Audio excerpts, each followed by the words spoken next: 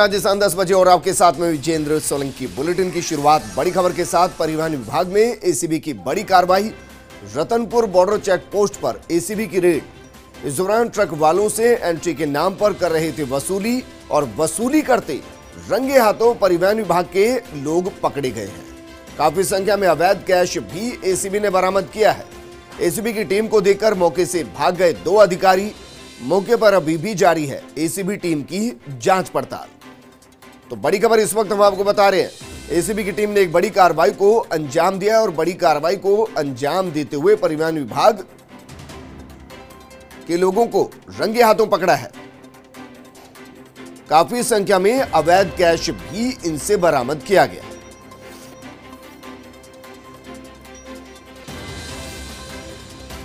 मेरे सहयोगी नवीन मेरे साथ जुड़ चुके नवीन, जानकारी लग पाई कि कितनों के खिलाफ कार्रवाई की गई और उनसे कितना कैश बरामद हुआ है?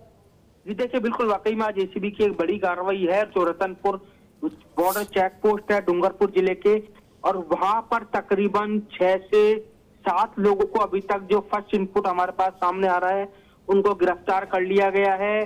ट्रक चालकों से वसूली करते हुए उनको गिरफ़्तार किया गया है।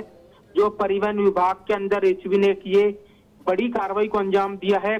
जो रतनपुर बॉर्डर है, जो ट्रक चालकों से एंट्री के नाम पर ये वसूली इकट्ठा करते थे और जो तमाम इसके अंदर जो ट्रैप की कार्रवाई हुई है यानी रिश्वत लेते हुए कई कर्मचारियों को भी रंगे हाथों गिरफ़्तार किया है। कोटा एसीबी की टीम है उन्होंने डूंगरपुर में जाके कार्रवाई की है। बीजीबीएल सोनी एडीजी दिनेश समेन वो इस पूरी कार्रवाई के ऊपर मॉनिटरिंग कर रहे हैं। ये जो पूरा खेल है लंबे वक्त से चला रहा था लेकिन एसीबी को लगातार इनपुट मिल रहा था। इनपुट के आधार पर एसीबी ने इस पूरी कार्रवाई को अंजाम दिया है।